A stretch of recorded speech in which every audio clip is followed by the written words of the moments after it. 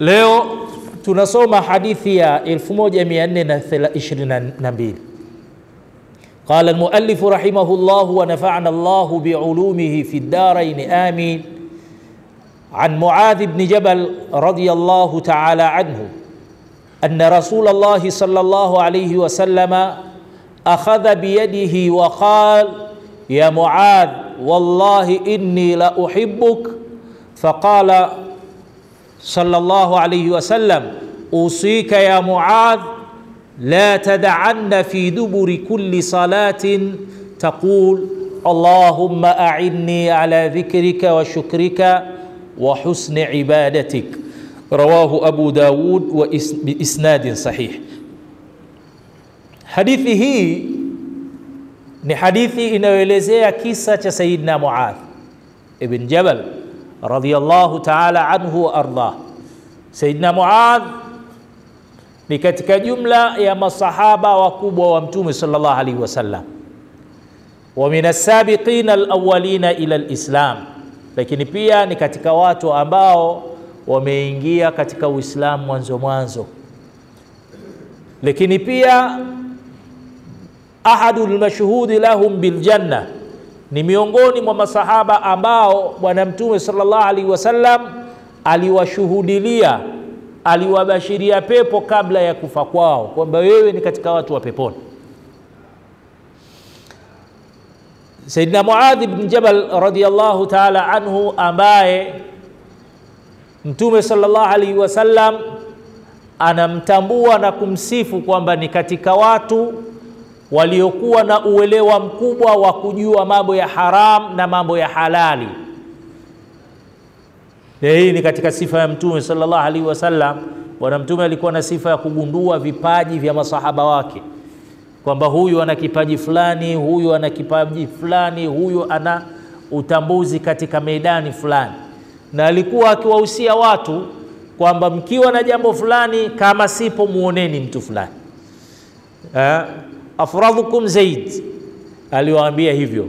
Mkiwa na kesi za mirathi na mnataka kujua nani anarithi nini na nani apewe kitu gani mtu gani akiwepo mwingine anakosa katika mirathi, basi kama sipo kamuoneni Zaid.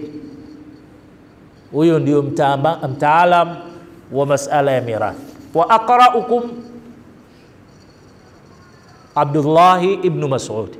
Mkitaka kumjua mtu msomi mzuri wa Qur'an, anayejua mengi katika Qur'an, anayesoma Qur'ani kwa sauti nzuri basi mwoneni Abdallah ibn Mas'ud. wa a'lamukum bil halali wal haram Muadh, mtambuzi wenu wa masala ya haya ni halali, haya ni haram, mjuzi katika hilo ni Muadh ibn Jabal. Ndiyo maana Mtume sallallahu alaihi wasallam alipotaka kumpeleka gavana katika nchi ya Yemen alimchagua saidna Muadh ibn Jabal aende kuwa kadhi katika jimbo la Yemen ambalo ni jimbo lililokuwa na watu wengi katika ahlu kitab. Akampeleka kule kwa kujua uelewa wake ni mkubwa na ataweza kufikisha kile ambacho Mtume sallallahu alaihi wasallam anahitaji kiweze kuwafikia watu katika masala ya dini. Anasema Saidina Muadh anna Rasulullah sallallahu alaihi wasallam kwamba mjumbe wa Mwenyezi Mungu sallallahu alaihi wasallam akhadha biyadihi, alimshika mkono wake, waqala ya Muadh, na akasema ewe Muadh, wallahi inni la uhibbuk, na apa kwa Mwenyezi Mungu, hakika mimi ninakupenda sana.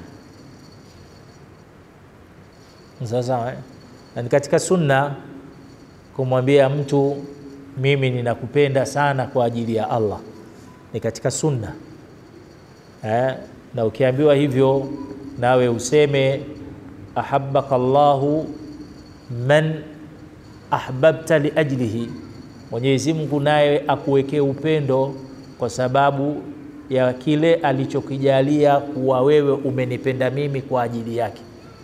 Sawa, ni sunna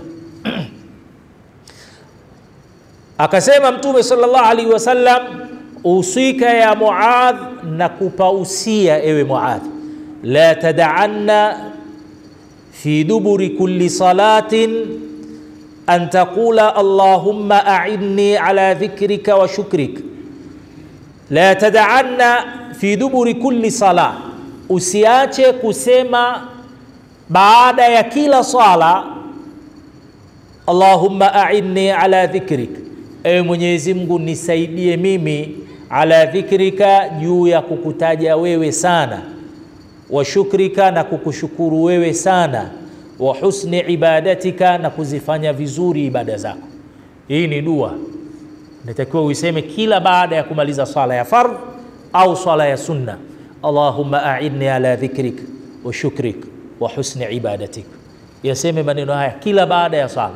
Ewe Mwenyezi Mungu nisaidie, a'inni ala dhikrik, nisaidie juu ya kukutaja wewe, wa shukrik, na unisaidie juu ya kukushukuru, wa husni ibadatik, na unisaidie kuzifanya vizuri ibada zako. Kwa hiyo kufanya haya matendo mema, unapokuwa umewafikishwa na Mwenyezi Mungu Subhanahu wa Ta'ala, usidhani kwamba wewe ni mjanja sana, akili yako imepevuka sana. Sawa sawa, hii ni taufiki ya Allah Subhanahu wa Ta'ala, ameiweka katika nafsi yako. Hii ni hidaya, Mwenyezi Mungu amekuongoza katika hilo. Kwa hiyo sunna usiache kumwomba Mwenyezi Mungu akuongezee katika hiyo.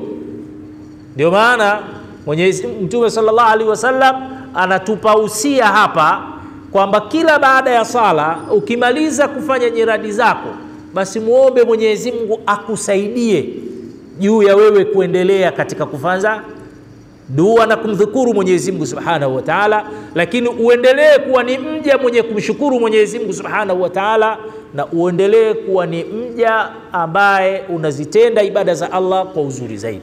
Na ndio maana hata Mwenyezi Mungu Subhanahu wa Ta'ala eh, akatufundisha katika katika katika Qur'an, Rabbana la tuzigh qulubana ba'da idh hadaytana wa hab lana min ladunka rahma.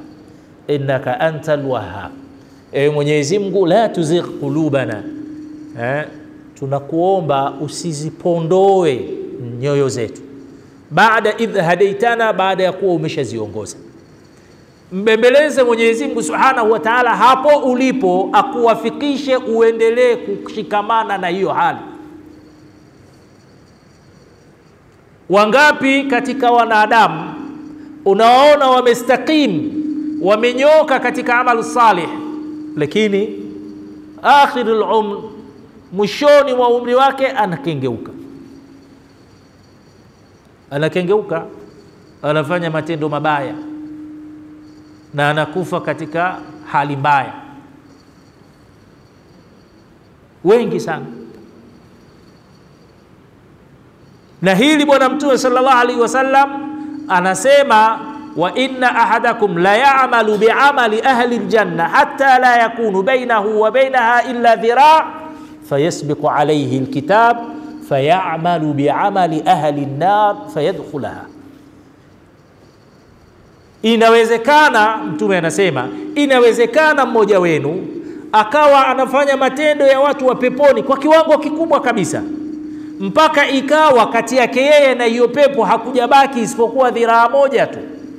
Fayasbiqu alaihi lkitab, kisha kitabu kikamtangulia, akabadilika, akaanza kufanya matendo ya watu wa motoni akafa akiwa anafanya matendo ya watu wa motoni na kisha akaingia katika moto wa Allah. Mwenyezi Mungu atulinde na adhabu ya moto.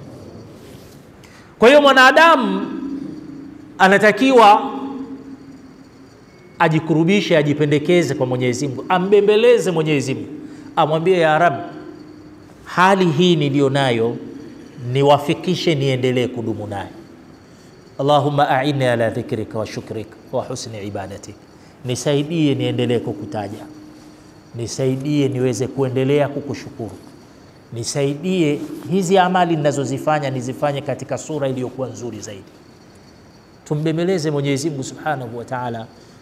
Imam Ahmad ibn Hanbal rahmatullahi ta'ala alayhi anasema mara moja alipokuwa alipokuwa akifanya ibada ya hija.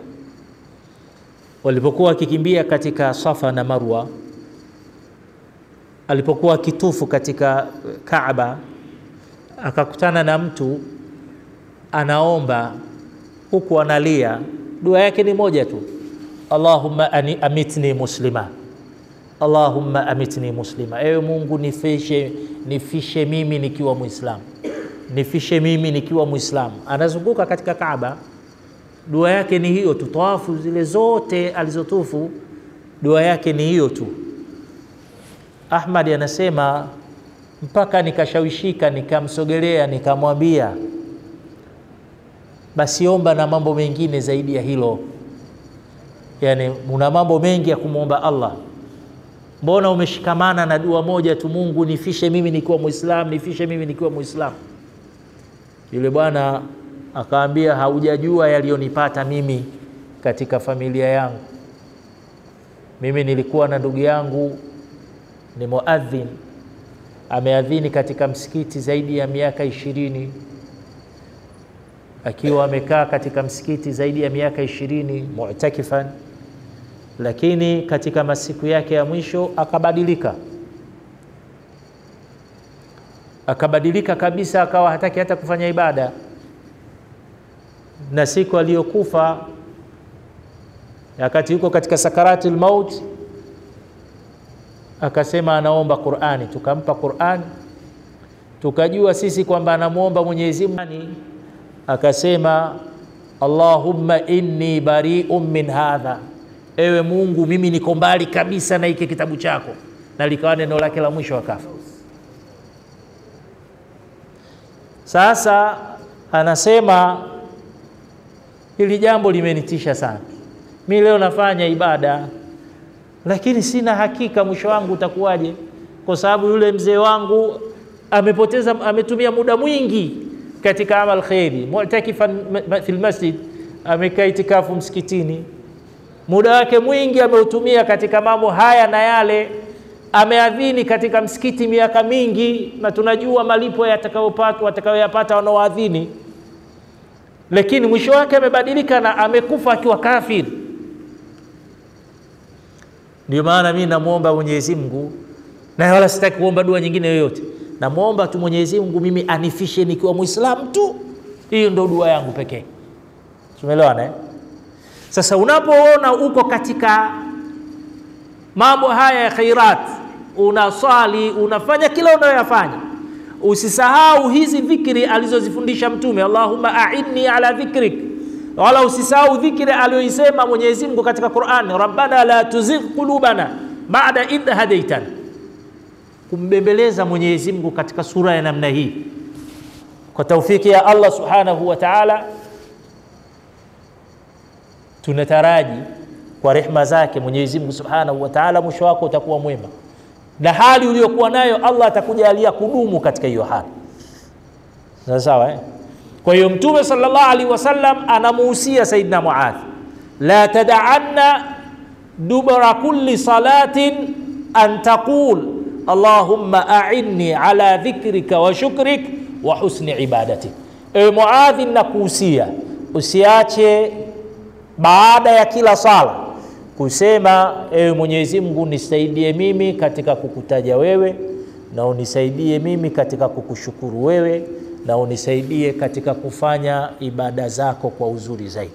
Tunamwomba Allah subhanahu wa ta'ala atujalie kuwa ni katika wenye kudumu na maneno haya.